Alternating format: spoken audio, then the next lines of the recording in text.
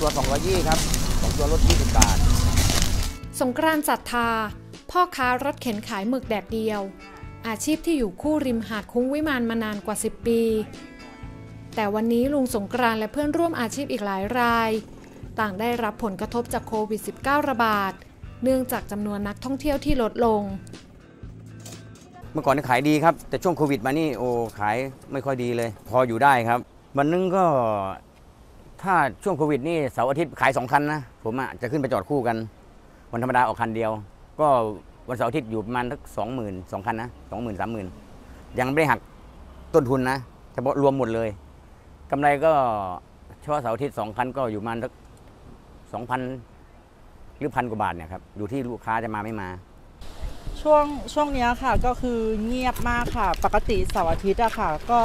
จะขาย ก็จะขายดีอะค่ะ แต่พอมาเสาร์อาทิตย์ทุกทุกอาทิตย์ที่ผ่านมาเนี่ยช่วงหลังเนี่ยก็คือเงียบลูกค้าก็แบบว่าซบเซาลง นั่งทานด้านหลังได้นะครับ แม้รายได้จะลดลง แต่ลุงสงกรานต์ไม่คิดที่จะเปลี่ยนอาชีพใหม่ เนื่องจากการขายหมึกแดดเดียว เป็นอาชีพที่ต้นทุนต่ำกำไรสูง และเป็นอาชีพที่เลี้ยงครอบครัวมายาวนาน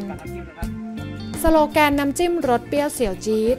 ไม่เพียงพอที่จะดึงดูดลูกค้าได้อีกต่อไป ลุงสงกรานจึงหาเทคนิคที่จะปรับตัว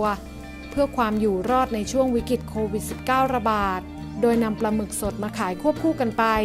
เทคนิคที่จะทำให้หมึกสดตลอดเวลา รสชาติอร่อย คือการนำหมึกสดไปล้างน้ำทะเล หรือล้างน้ำเกลือ เพื่อคงรสชาติและกลิ่นไอของอาหารทะเล ถ้าทำอยู่บ้านเราน้ำผสมเกลือ แต่ถ้าเราถ้าทำมันอยู่ที่ทะเล เราก็น้ำทะเลจริง ๆทำแล้วลอกหนังเอาขี้ออกเอาปากออกตาออก แล้วก็เสร็จปุ๊บถ้าเยอะๆนะหลายๆร้อยโลอะเราก็ทำเป็นแพ็คแพ็คละ5โลใส่ตู้ฟิตไว้ที่บ้านได้มันอยู่ได้นานเป็นปีก็ได้ ถ้าอยู่ในตู้ฟิตเพราะหมึกยังไม่ถูกน้ำจืด แต่ถ้าหมึกถูกน้ำจืดปุ๊บเนี่ยถ้าเราขายไม่หมดใช่ไหมเราก็หมึก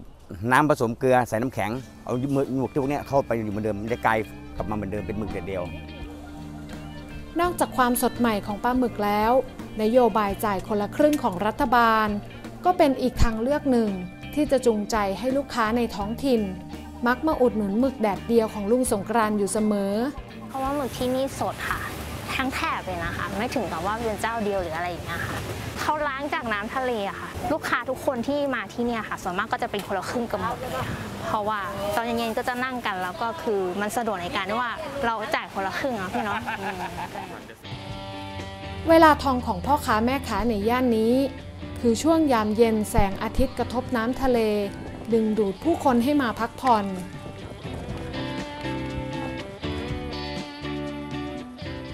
หากเนินนางพญาคือมนต์เสน่ห์ที่ดึงดูดนักท่องเที่ยว ร้านรถเข็นหมึกแดดเดียวก็คือสิ่งหนึ่ง ที่อยู่คู่หาดคุ้งวิมานมายาวนานเช่นเดียวกัน วันนี้ลุงสงกรานและเพื่อนร่วมอาชีพยังหวังว่า หลังสถานการณ์โควิด -19 คลี่คลาย